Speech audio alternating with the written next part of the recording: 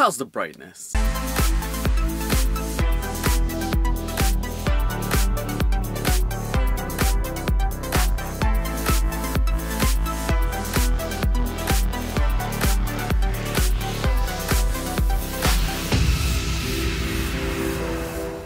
SGC here, we're back for a food tasting. Bam! This is Lotte's. I don't know, it's Korean. In the nutritional facts at the back, this is labeled as a O-I-N-G. So, ong, oing, biscuit, biscuit, oing. I don't, I don't know, it's, it's right there. But it's strange. I mean, we have a cuttlefish, and then we have a shrimp. So I'm like, make up your mind, people. Like, is this cuttlefish or shrimp?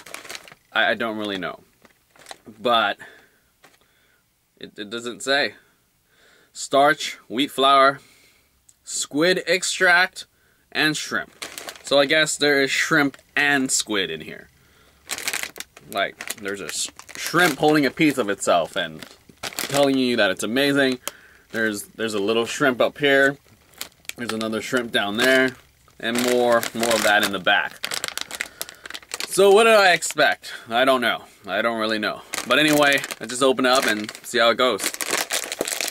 I mean, it feels like it's up here. Whoops. It feels like it's up here. So in terms of packaging, it's pretty not fooling you with air, but rather it has stuff. So anyway, let's, let's open this.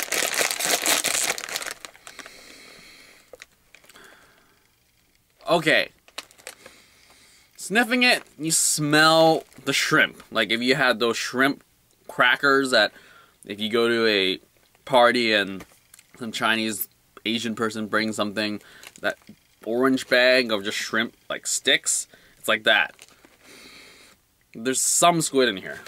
So here, this is it. This is how it looks like.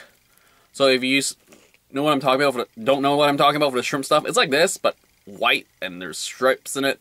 But anyway, this is this is this is happening. It's the shrimp squid thing.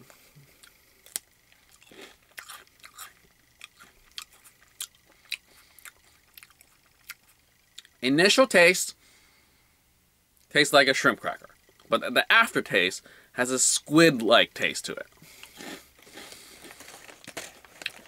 Pretty easy to eat, people.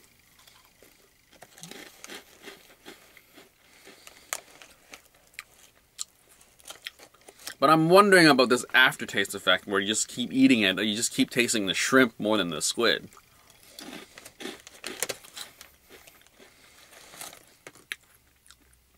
Though who am I kidding? I'm not worried. Just just keep eating.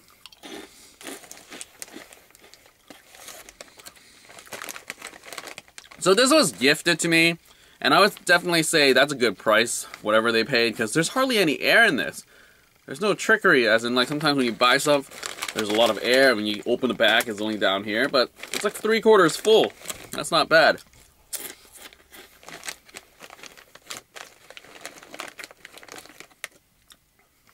So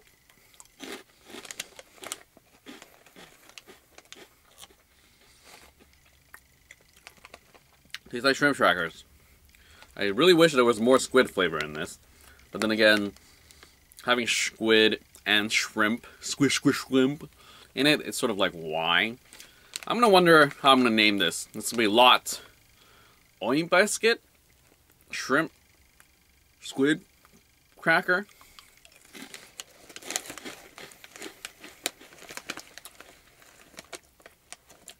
It's a curious, interesting sort of collaboration of these two tastes, and I'm sort of bummed that it's not. I don't know. I sort of wish there was more squid taste to this, because that would be different. Shrimp had it all the time with shrimp crackers.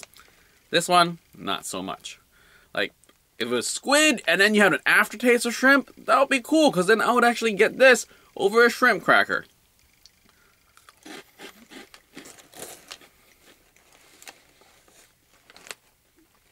So yeah, I mean, there's a slight tinge of saltiness in the beginning, but as you eat more and more of it, it, it just tastes like shrimp crackers. So that is it. Tasting, food tasting of Lotte's Oing Biscuit Biscuit Oing. I'm probably saying it wrong, but I don't know why they, they, they wrote it like that. They, they, they wrote it like that. So I'm not going crazy. But anyway, that is it. I don't know. How do I even outro these things anymore? I don't remember. I don't do it often enough. But anyway, that is it, and that is it for this food tasting. Oh.